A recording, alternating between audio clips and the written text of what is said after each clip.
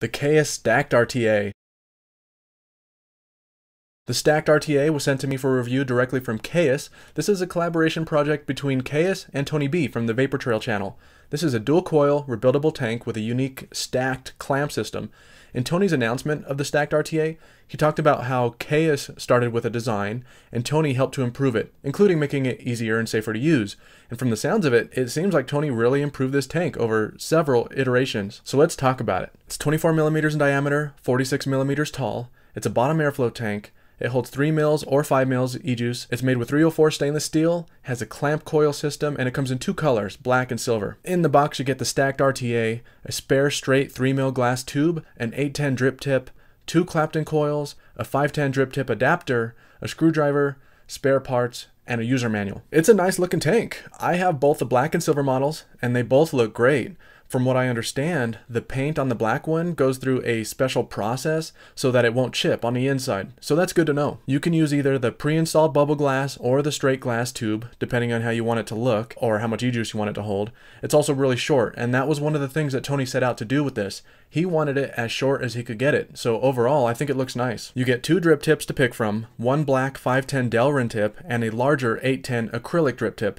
The acrylic tip is much shorter than the black one, but the black tip has the same outer diameter so that it fits into that 810 size top cap, which is nice. The accessories bag also comes with a 510 adapter so that you can use other smaller 510 drip tips. There are grips on the top cap, making it easier to unscrew and fill, and something that I want to point out here is how the top cap fits over the glass and chimney section. The inside of the top cap fits around the chimney section, creating a seal, while the outer part of the top cap goes over the metal rim of that fill piece, and this makes it so that it's less likely to leak and so that you don't have to crank that top cap down to prevent leaking.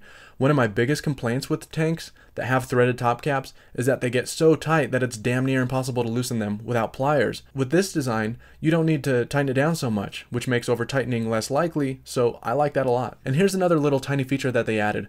There's these little notches in the top cap. This is designed to let air escape while you're sealing it up. So that should help prevent building up too much pressure and causing leaks. The fill ports are also really big, making the stacked RTA easy to fill. There are two airflow slots, one on each side. Both are pretty big and provide a lot of airflow when it's wide open, and you can get quite a lot of air through this tank. The airflow isn't super smooth and maybe even a little loud, but it's not too bad. The airflow control ring is really tight and hard to turn right out of the box. I was getting finger cramps trying to turn this damn thing, but after you use it for a while, it, it really loosens up. Also, a common issue that I've heard is that the airflow control ring doesn't turn while it's on the device, and that's because it sits so low on the base of the deck. It, it's basically flush with the base, so it gets sandwiched against the device that you're using, so you just can't turn it. That probably depends on the device that you're using and how tight you screw the tank down, but on the few devices that I tested it on, the airflow control ring still turns, but because of how close it sits to the device, it's a little hard to get your fingers in there to turn it. All right, let's talk about the deck. So in Tony's demonstration of the stacked RTA, he mentions that the deck was inspired by the Lit and the Layer Cake RTA, and he wanted to make that design better. So if it looks similar to you, that's because it is. Insulators sitting between the metal plates are made of ceramic zirconia, which is also really unique. They are non-conductive and high strength, so you shouldn't have to worry about melting them. Tony says that they are a little more expensive, but Kaees took his advice and used them anyway, without passing the cost on to the consumer, supposedly. The posts on the deck use spring-loaded clamps, so it's pretty easy to open and close and install coils, and it's really cool that Kaees included spare springs in the package in case you lose one, which might happen you can unscrew these posts and the, the screws will come all the way out. So the, the screws don't just fall out, so you would have to pull it out to lose a spring. But once the screw is out, that screw can go anywhere if you're not careful. If you tighten down the coils without clipping the leads, it's really hard to get in there to clip those lower leads. So I found that it's easiest to get your coils in place, lock down one side, Position the coils where you want them on the open end and then clip the lower lead. Then you can tighten it down where you want it and then do the other side. It's really not too difficult. You want to make sure that the coils are placed directly above the airflow holes to get the best flavor. That's pretty easy to do anyway, since you'll need to keep the coils close to the clamps so that they fit inside that chimney section.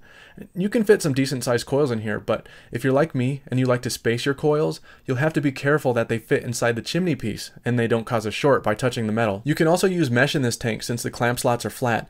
I don't have any mesh to test it out, but Kaees mentions it as a feature. To wick the stacked RTA, you can put your cotton all the way into the juice well if you want, but you really only need to poke it through the wick holes as long as the wicks are below the deck, it'll wick just fine. So it performs well, you can get some nice big hits depending on your build, and there's plenty of airflow to get big clouds. The flavor is good too. It's not the most impressive flavor ever, but it's pretty good. And wicking is good too, but that's something that you'll have to play around with and learn uh, to find out what works best for you. And something that I have noticed about the flavor that it just pr- produces better flavor at higher wattages. And higher wattages for me meaning around 80 watts to 90 watts. So that's the stacked RTA. It's a nice dual coil rebuildable tank with decent flavor. It has a lot of airflow and it wicks really well if you if you wick it the right way. The clamp coil system is easy to use and I like the little features that Tony added. The main con that I have is that the airflow is really tough to move since that that ring is flush with the base. But really, it's a nice RTA. So you can get the stacked RTA online for around 30 to $35. All right, that's it.